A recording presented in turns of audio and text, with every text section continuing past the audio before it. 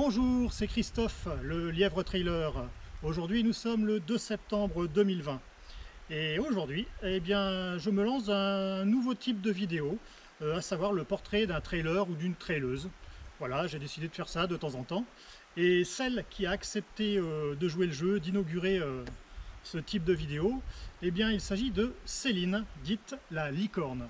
Alors Céline, vous la connaissez déjà puisque vous l'avez déjà aperçue dans certaines de mes vidéos et en particulier euh, sur le trail euh, de Noël à Olioul en décembre 2019 où on a couru les 30 km euh, en duo ou encore en début d'année lorsqu'elle m'a fait découvrir la montagne de la Loube à La Roque-Broussanne, non loin d'ici d'ailleurs. Bon allez, bref, on va pas traîner traîner. Hein. C'est parti pour le portrait et en savoir un peu plus sur Céline dite la licorne. Coucou, moi c'est Céline, j'ai 39 ans, euh, je fais du trail depuis 4 euh, ans maintenant. Euh, J'habite sur Mehoun et puis voilà, pas loin de chez moi, ce qu'on peut découvrir comme jolie petite vue jusqu'à la mer. Bonjour Céline Bonjour Christophe Alors tu nous as donné comme point de rendez-vous ce lieu dans le, la forêt domaniale de Morière-Montrieux. Pourquoi donc-il eh ben parce que c'est un lieu qui me tient à cœur, parce que c'est chez moi et que j'aime bien faire découvrir mon petit chez moi, ma petite forêt. Euh. D'accord, ah, d'accord, ok, euh, d'accord. Euh, déjà pour rompre un mystère direct, pourquoi la licorne? Oh là là, vaste question. Alors, commençons par ça. Pourquoi la licorne? Euh, Je sais même pas d'où c'est venu. Si, c'est venu en fait avec le sport. Euh, j'ai rencontré des, filles un peu folles qui m'ont proposé de faire un défi avec elles et on n'a euh, pas trouvé mieux que de, comme déguisement que de se déguiser en licorne et depuis bah, c'est resté. Ah ouais d'accord, ah bah voilà. Le, secret est percé, voilà, C'est ça, il n'y a plus de mystère. bon alors là du coup tu vas nous emmener où? Alors on va faire en gros une petite quinzaine de kilomètres. On va s'arrêter, euh, voilà. on va s'arrêter, euh, on va voir une, chartreuse qui est un lieu emblématique de Méhoun. Et ensuite, on va aller voir aussi les aiguilles de Valbel qui sont vraiment magnifiques, qui sont des grosses pierres, des gros cailloux qui sont vraiment très très belles. Voilà, en gros. Ok, bah allez, on va y aller. C'est parti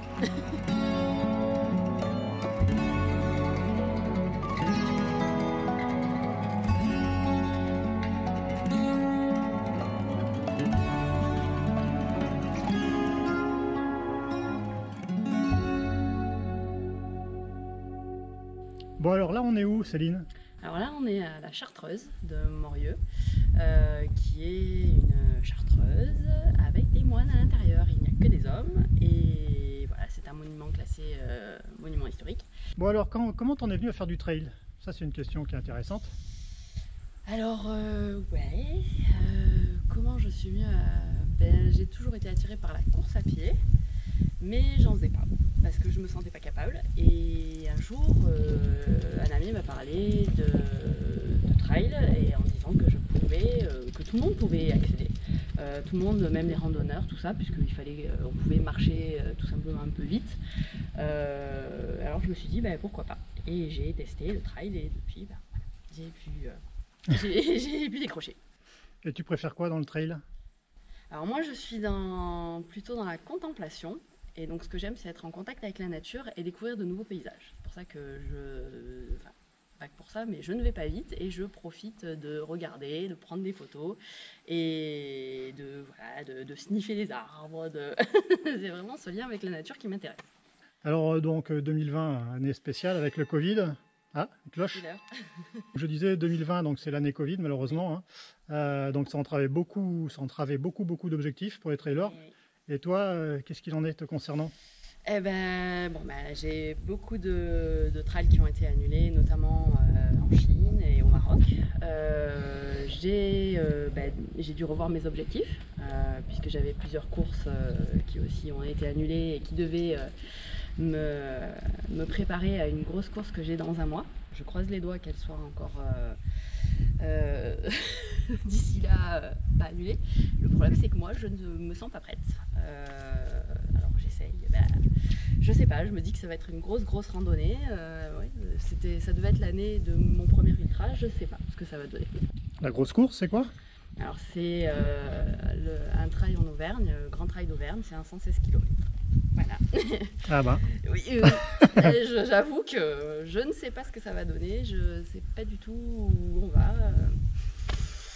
Advienne que pourra.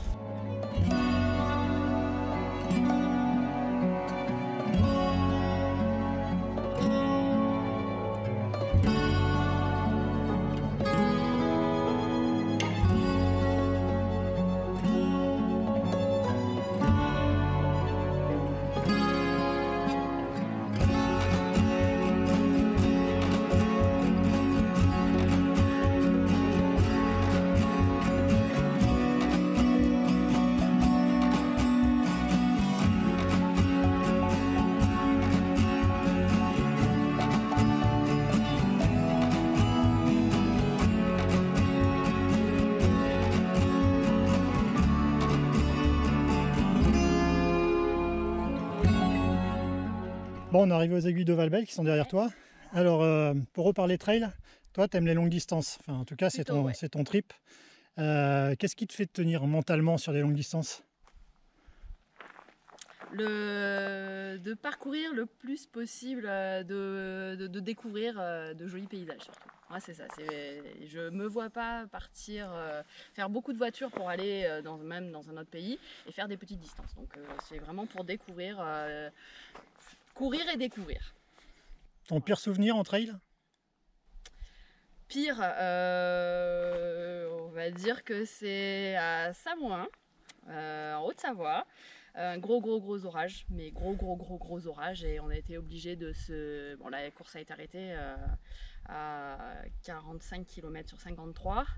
Et on a été obligé de se mettre euh, à couvert chez quelqu'un qui nous a ouvert la porte parce que tellement un gros orage, on était en pleine, euh, en pleine montagne. Et voilà, on est arrivé dans un village et une personne nous a fait rentrer. Donc, mauvais, mais en même temps, euh, j'ai découvert euh, la solidarité aussi euh, bah, de quelqu'un qui ne nous connaissait pas et qui nous a ouvert la porte en disant rentrez, rentrez. ouais. C'était un beau souvenir. En 2019, non C'était? Oui. Ouais. Et du coup, ton meilleur souvenir? Mon meilleur souvenir en trail, euh, on va dire, euh, bah, je pense que ça peut être aussi le même, puisque justement, c'était euh, tellement magnifique. C'est le plus beau trail que j'ai fait. Je suis dégoûtée de ne pas pouvoir l'avoir, fini, parce que c'était pas possible. Mais non, c'est le plus beau, vraiment beau en tant que paysage. Bon, du coup, on a compris que tu n'étais pas chrono, que tu étais plus pour euh, Ouais. le plaisir. Ce qui est, voilà. Ça va pas avec.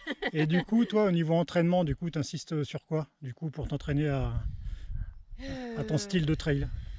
Moi, je suis. euh, bah, moi, j'aime monter, quoi. C'est même si j'en. je- je- c'est très dur pour moi. T'en chies, c'est ce que t'allais dire, Voilà, je le dire, mais j'en chie. c'est vraiment. euh, ouais, non, c'est monter, c'est toujours plus haut.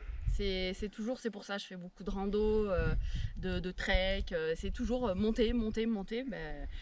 j'ingi- J'insiste beaucoup ouais, sur ça, sur, sur le fait de, de grimper, crapahuter, euh, me percher. c'est ouais, c'est ça. Ça pourrait définir, même si c'est très dur. Tu as des tocs d'avant-course? Avant course, je non, je pas spécialement. Non, je me renferme. Je j'arrive peu à parler. Je suis très stressée, donc je me renferme sur moi-même. Mais non, pas pas plus que ça. Bon, Ok, bah écoute, on va redescendre vers le Gapot, si j'ai bien compris, vers le parking. Et puis on finira là-bas, hein, la dernière euh, partie de ton portrait. Hmm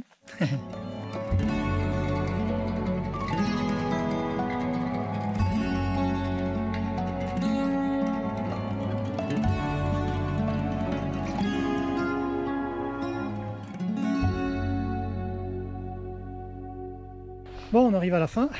Alors, les dernières questions. Euh, quel conseil tu donnerais à ceux qui, qui, qui hésitent à passer sur euh, du long en trail? Est-ce que tu auras un conseil à leur donner ou pas d'ailleurs hein? Faut pas se mettre la pression. Faut profiter du moment et ouais surtout pas se mettre la pression. Euh, bon, bien manger, bien s'alimenter, ça c'est très très très important quand on fait du long. Ça, ça peut causer des abandons malheureusement, mais ouais, faut être bien préparé au niveau de l'alimentation, je dirais, euh, en avoir aussi dans les jambes, mais bon, je veux dire quand le mental il passe, euh, après les jambes elles passent aussi. Donc euh, surtout ça, ouais. une bonne alimentation et, et profiter du moment, profiter à fond. Ton rêve le plus fou en trail? Oh là là.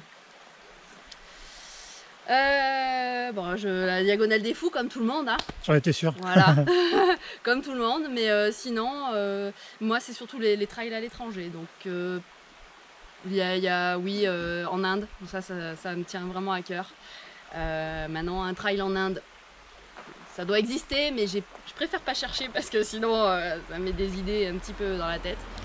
Euh, ouais, mais surtout à l'étranger, moi. C'est une manière de visiter les pays. Bon, alors là, j'ai cinq questions flash, questions-réponses. Comme ça devient. euh, voilà. Ok. Ton péché mignon Ça n'a rien à voir avec le trail, on est d'accord. Pas forcément. Le ouais, chocolat. voilà. Ton film culte Dirty Dancing. Ah ouais. Qu'est-ce que tu aimes le plus dans la vie? La nature. Qu'est-ce que tu détestes le plus? Euh, J'allais dire les gens, mais c'est trop, trop restrictif. Euh, les gens qui. L'indifférence, on va dire. L'endroit ultime pour aller faire un trail, mais du coup, tu as répondu. ouais. T'as répondu déjà. Bon, et puis pour terminer, si tu devais avoir une devise, ça serait quoi? Toujours plus haut. Bah voilà. Bah en tout cas, merci. Tiens, je vais aller à côté de toi pour terminer. Bah oui, Merci pour, euh, pour, euh, bah, pour ce trajet, ce parcours écoute, dans avec grand plaisir. Et puis euh, je vous attends bientôt avec moi sur les traces Ouais, des dimanche, aiguilles de Valbel. Ouais. Dimanche, bon, ça risque d'être court par rapport à la vidéo, mais je pense qu'elle sortira avant. Peut-être qu'elle sortira avant quand même. Voilà. Bon allez, ciao ciao tout le monde et puis bah, à plus.